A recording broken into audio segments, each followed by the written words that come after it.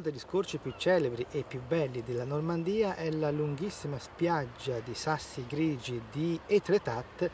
perché in questa spiaggia ai lati ci sono due conformazioni naturalistiche molto particolari, due archi naturali di pietra eh, che sono stati resi ancora più celebri da due dipinti di Monet che appunto li rappresentavano. Quello che vediamo adesso fu nominato in uno scritto da Montpassant